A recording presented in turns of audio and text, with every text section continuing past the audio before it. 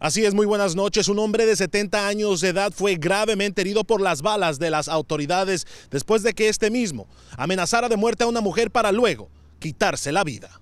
Según el informe de la policía, el primer reporte a las autoridades llegó un poco después de las 5 de la tarde, cuando la víctima reportaba que el sospechoso, que no ha sido identificado, la perseguía por el patio de su casa con un cuchillo. Cuando llegaron a la cuadra 5200 de la avenida Meca, las autoridades localizaron al hombre fuertemente armado con un cuchillo y una escopeta de alto poder. Al verse amenazados, los agentes le dispararon. El sospechoso fue transportado a un hospital local donde se mantiene en condición crítica. Mientras tanto, la mujer logró escaparse de las garras del hombre que intentaba asesinarla.